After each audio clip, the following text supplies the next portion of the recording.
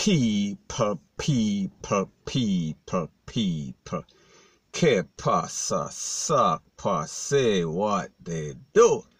Now people, the first part of this video is about the Chinese living in China and also Jamaica.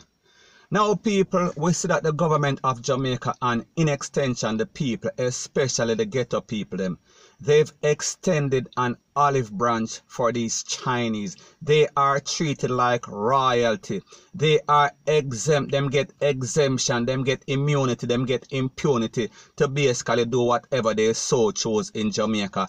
As a matter of fact, it seems that the government of Jamaica has almost sell out Jamaica to the Chinese. However, there is a difference in treatment. We are speaking about it is a total opposite. We are speaking about the polar opposite treatment that Jamaicans and more specifically black people get in China. So people, I want you to take a listen, take a look to this voice note and then I'll give my piece.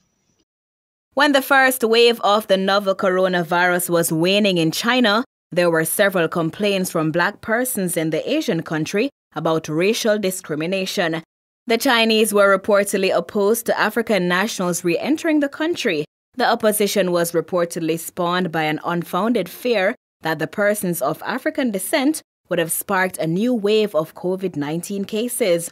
One Jamaican living in China says he and other Jamaican nationals have also been victims to this abuse. To protect his identity, we'll call him Patrick. Nationals believe that the laws don't protect foreigners. Very often, especially during the pandemic, there were instances of employers just not adhering to the national law because they didn't see it fit to do so. And so various tactics were used to try and scare foreigners into or to bully foreigners. Patrick says his previous employers failed to present him with the necessary documentation to seek another job, which resulted in him being evicted. And the Jamaican national says he struggled for a while to secure a new residence. He's also accusing the Chinese nationals he encountered as being less than honest in their dealings. Tricks such as, you know, withholding documents, you know, during the pandemic, no pay, which is illegal. Also, during the pandemic, trying to evict persons from their apartments and so on. And several several other, you know, examples. He says he's contacted the Jamaican embassy for assistance, but was told there was nothing they could do. The embassy, like, I'm not bashing the country, I'm not bashing Jamaica, but um, what is the embassy's purpose in China if they could not assist a national? What's what's the purpose of the embassy? As a Jamaican, do have a time. um, I believe as soon as I can, I will return home. I'm just in anticipation that when the borders reopen in June, God's will, that I'll be on that that first flight. Now, people, when we listen to stuff like this, don't it get you mad? Don't it get you disgusted? Don't it get you livid?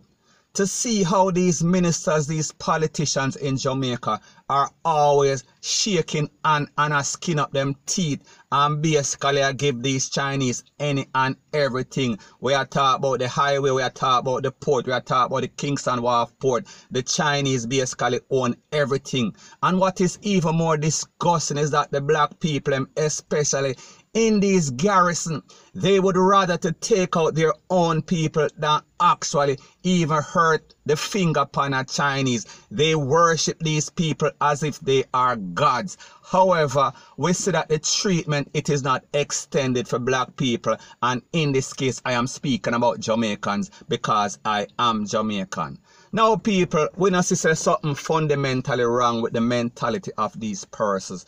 We don't see that we are accepting these persons that are very racial. We are talking about they are some racist set of people. And people, don't get it twisted, don't get it misconstrued. There are always good in every group. However, I am speaking in general. I am speaking about the general treatment of the general Chinese as it pertains to black people and specifically Jamaicans in this case.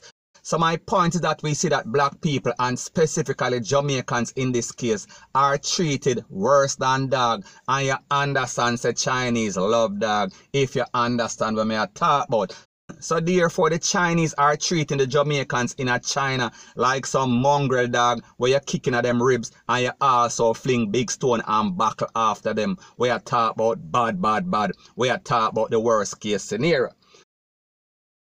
Now when I see these videos on social media all over the internet and we see how Chinese, a general treatment of Chinese towards black people, we are talking about in a Trinidad, we are speaking about in Africa, we are speaking about just about anywhere and everywhere, the dog, the puss, the mama, the pooper, everybody get bad treatment from them. However, when them come to Jamaica, it is as if they are royalty. And we have to blame, we are talking about the prime minister and the ministers and these politicians and that is because the government officials and politicians, they don't put stipulations in these deals to make sure that these Chinese are honoring and obeying. We are speaking about human rights. We are speaking about civil rights. We are speaking about all sort of rights. And they treat people like they like to be treated. And people, the truth and the fact that if I was a Jamaican, no kind of Chinese and people, I don't want to sound like I am racist or prejudiced.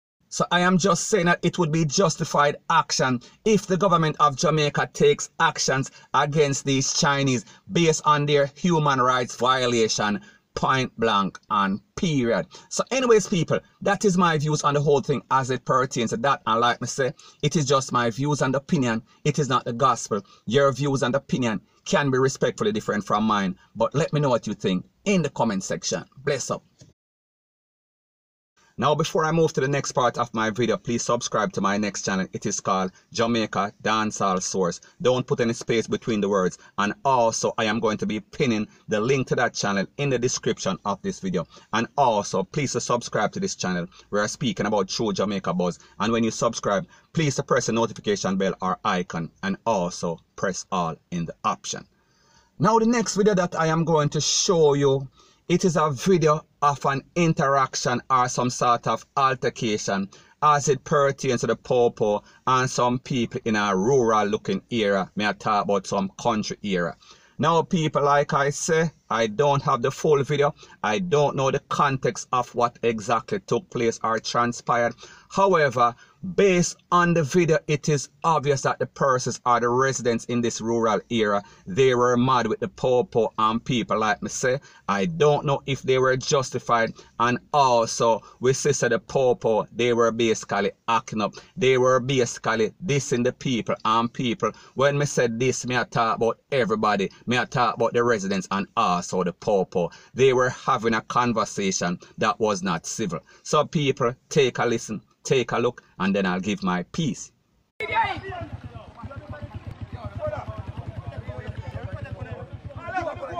Hello, no video. Just video. Video. It's done. Yo. What are you standing, brother? What are you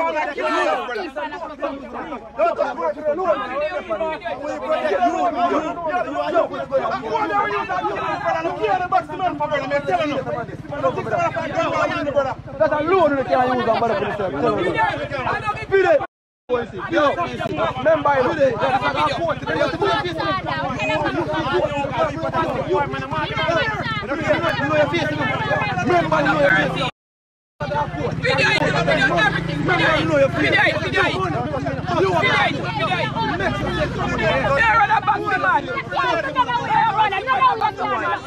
None of you can do nothing. I can't shoot him. You're not shooting him. No, shoot him. Shoot him! Shoot him! Shoot him! Shoot him! Shoot him! No, shoot him! Shoot him! Shoot him! Shoot him now! Remember, yo! Yo, no, peel back, man! Peel back! Peel back! Peel back! Now, people, like I said before, I was not there. I don't know the context of the conversation However, what I do know is that no normal person is going to challenge the Popo unless they did something wrong. And based on the audio, I heard somebody saying that the popo back somebody or them basically violate them. So therefore, the persons say that they are defending their rights. And obviously, we so with the popo, if them know so them right, they are always going to flare up. However, in this case, we see that they were basically standing their ground. They were basically defending themselves based on the fact that maybe they knew that they were wrong. And people like me say, because me know so we have the popo to them that is always commenting and saying that I am against the popo, rete, lele, blue, blah, bling people me just talk based on what me see we talk about in the video. Now, what I saw very wrong is that we see that persons were challenging the popo even though them realize that the popo have some high power thing, me I talk about some tall up, I talk about some M to the 16 rate, lele, blue, blah, bling. However, it is obvious that these persons were not coward. So people just imagine if persons are challenging the popo with some high power rifle in a them hand and them know the reputation and the history of the popo, what would these persons do? We are talking about to a normal civilian and people like me say, this is my disclaimer once again. I am not saying that they were wrong and I am not saying that they were not supposed to defend themselves. Me just say you have to be careful because we are speaking about some powerful type of artillery. May I talk about weaponry. Now, if you realize a lot of times when we see these videos on social media, it is most of these young popo. May I talk about the one that just come out of training school. It seems like they are trying to make a name. It seems like they are trying to build a reputation. It seems as if they are trying to show up themselves and people like me say. Let me say it once again. Me not there, I was not there. So therefore, I cannot contextualize exactly what took place or transpired. However, based upon this video, it is obvious that these persons were pointing these tall upon the people um, and it could have went off and basically take out somebody's life point blank and period. So people, the moral of the story is this. Two wrong will never make a right. And we see that the people them are flare up. And we see that the persons were angry and they were livid. And also we see that the poor most of the time they are not showing any sort of professionalism. So therefore, they need some more training. We are talking about the people that are in charge. We are speaking about the relevant authority. They are supposed to make sure that these persons are trained properly because when they're not trained properly, they basically go out on the road and them act up. We are talking about act a fool. And in most cases or some cases, people lose them life or even people get hurt. Point blank and period.